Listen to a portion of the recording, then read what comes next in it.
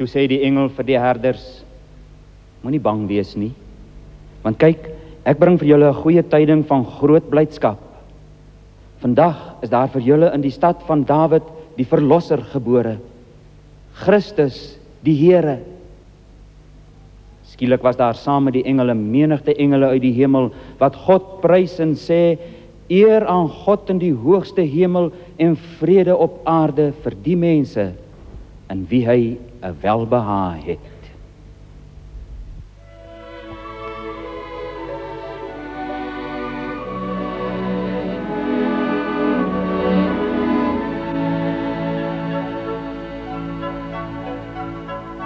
Lang geleë in Bethlehem toe die sterre helder skyn het redding vir die mens gekom in 'n Jesus kindjie klein.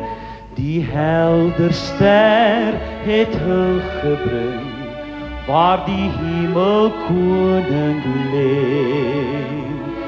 en herders in 'n winternag hoor engle kore sing jy go mensdom jubelsang die koning lank verwag. Lê in 'n krib op strooi so saam wees bly dis kersfeesdag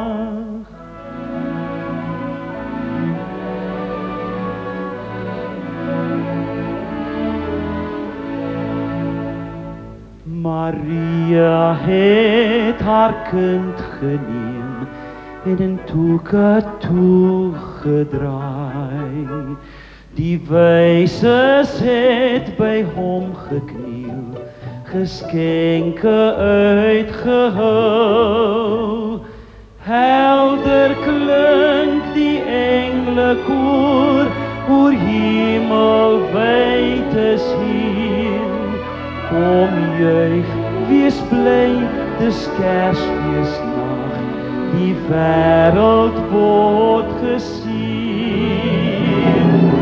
Helder klink die engle koor, oor hemel wyd is hier.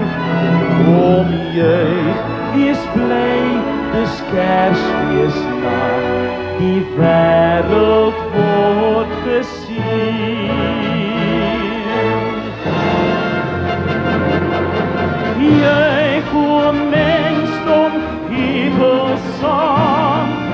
koning lank verwag. En in 'n krib op strooi so saam, wees bly, dis Kersfeesnacht.